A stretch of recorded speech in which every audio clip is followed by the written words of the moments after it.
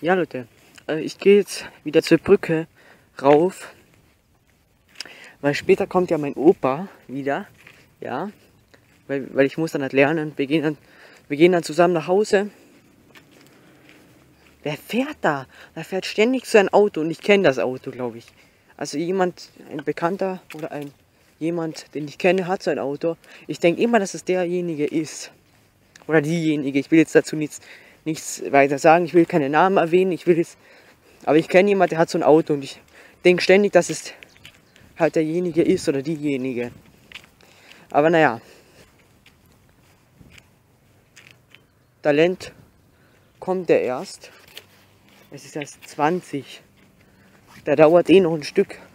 Also ein bisschen dauert es ja noch, bis, da, bis das Talent kommt. Und ich werde werd auf der Brücke auf meinen Opa dann warten. Bin gespannt, wenn er kommt, Leute. Ja, bis gleich, wenn das Talent kommt.